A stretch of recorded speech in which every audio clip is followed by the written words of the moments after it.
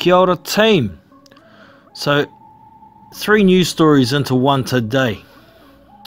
I will leave a few articles in the description. You can go and read them, come to your own conclusions as usual.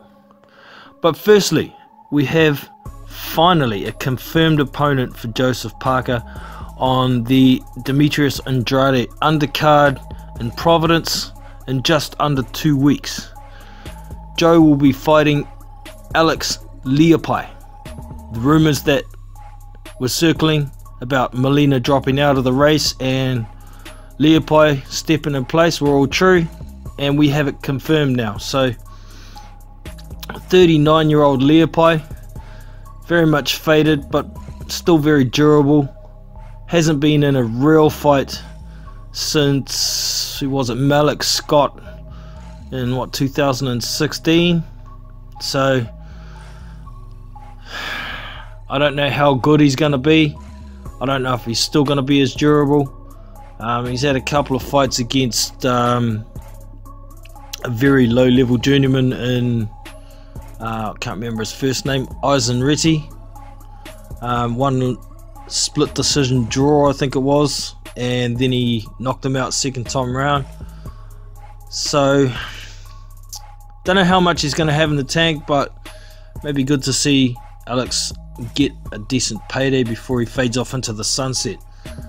Um, I'm not the happiest fan about Joe fighting Leapai. I was not that happy about him fighting Molina either. I want to see Joe in some really great competitive fights, but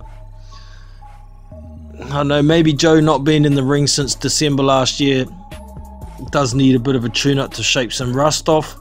I think he should be able to get rid of Alex Leapai rounds 5 to 7, somewhere there. Probably a referee stoppage due to too much punishment. Maybe even a towel getting thrown in.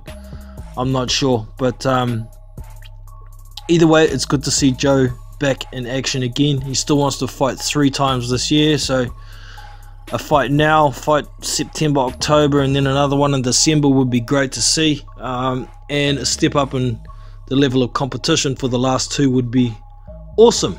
So we'll see what happens, but um, you can catch that fight in New Zealand.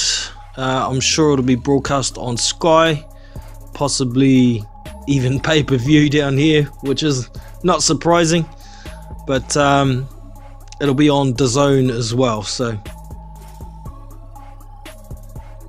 be tuned for that.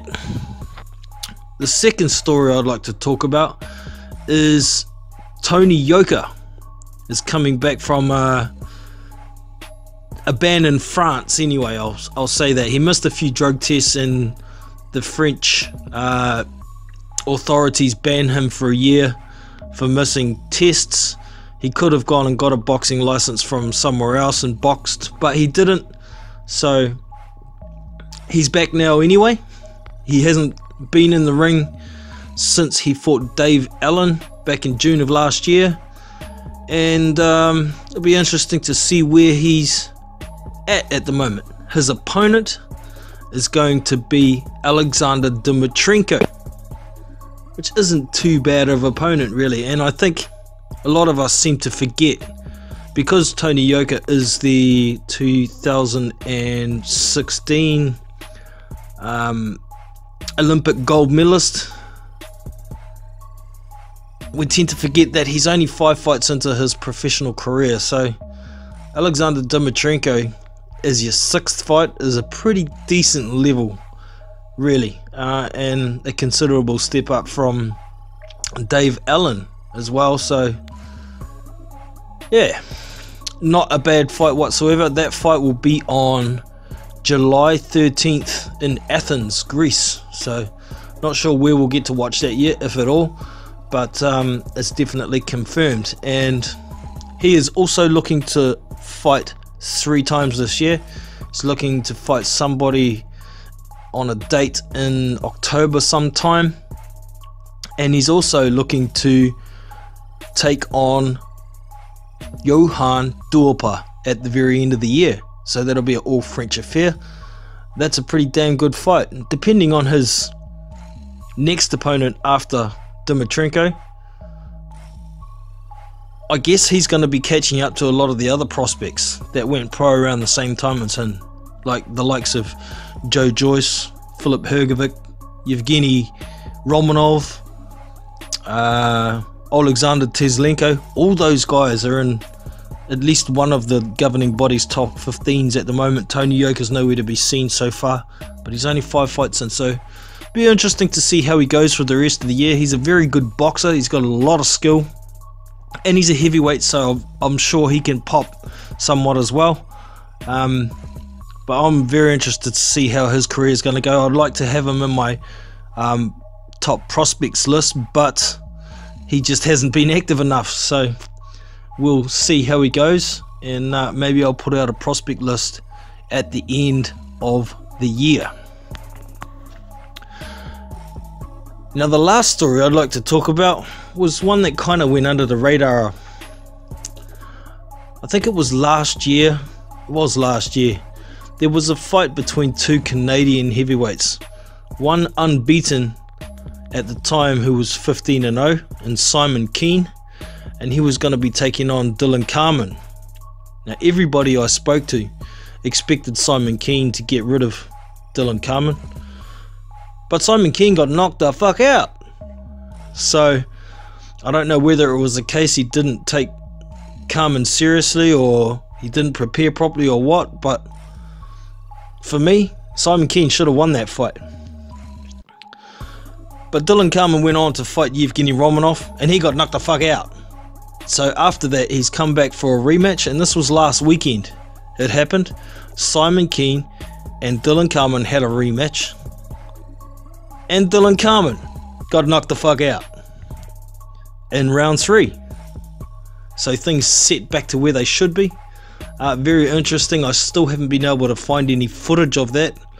Um, if anybody knows where to find some footage of Dylan Carman versus Simon Kean, leave a message in the description. I, will very much appreciate anybody who can find me some footage of that fight. So Simon Kean moves on, and uh, he still has that loss on his record, but you can learn a hell of a lot from a loss, and I think he must have. So interesting. All right, so drop your comments about what you think of Parker versus Leapai. Also, Tony Yoka versus Alexander Dimitrenko. And like I said, if you can, if you've got a link or any way of watching the Simon Kean versus Dylan Carman second fight, I much appreciate any information on that. Looking forward to reading your comments. Don't forget to give me the thumbs up if you have enjoyed this video. Subscribe to the channel, and I will catch you in the next one. Big Boys Boxing, we out. So. Have you been working with Joseph Parker out here? Yeah. What do you think of him? He just um, signed with DAZN, and I know he's fought Anthony Joshua, is one of the top guys. How's it been working with him? Really good. You know, it's the second time I came in camp here with uh, with Joe. We know 10, 10 years ago now because we fought in amateurs, me and him. And uh, now he's a, he's a really good guy and a really good fighter. You know, he's really fast. He's a guy, skilled for a heavyweight. So he's he's 26 years old, still young and uh, it will definitely be one of the top uh, heavyweight of the next years. And in the UK, we got a big fight next month. Your old uh, rival, uh, yeah. Uh, Joe Joyce, taking a step up, fighting a crafty veteran in Bryant yeah. Jennings. What do you think of that fight? He have to take a step up. You know, he's, I think he's older than Tyson Fury, so yeah. so you have to. You got, yeah, you got to, you got to rush. So uh, yeah, he's fighting Bryant Jennings it's going to be a good fight because both of them have uh, their ability, their skills, and uh, I can't see who's going to win. Uh, I just want to see like a good fight because Joe is uh, is trying to uh, to go like far and and up in the ranking now. What about you? You recently signed with Jay Prince. Yeah. What do you got going on? I got my next fight um, July 13 against uh, yeah against Dimitrenko. Okay, yeah, really good fight because his last fight was against Ruiz. So I think by the end of the year we uh, will be on the on the top 10. I'll fight Dimitrenko in July. I got another one in September, and uh, I will finish the the year with uh, with um, Johan Duhaupas, who also fought Deontay Wilder. So uh, yeah, we just want to move forward, and next year we're gonna fight everybody. I think like title shot next year. How surprised were you that Andy Ruiz knocked out Anthony Joshua? Everybody was surprised. You know, I think everybody was surprised, but boxing is boxing and heavyweight is dangerous. So uh, I was surprised, shocked as everybody else. But Ruiz, Ruiz is a good fighter. He had um, good skills, fast hands, and uh, most of the people was uh, was thinking it was a joke, and it wasn't because uh, you got you have to know that boxing is not about muscle. And now everybody know it. Look at Tyson Fury. He's, he doesn't have no ass, but he's the best fighter in the world right now. So.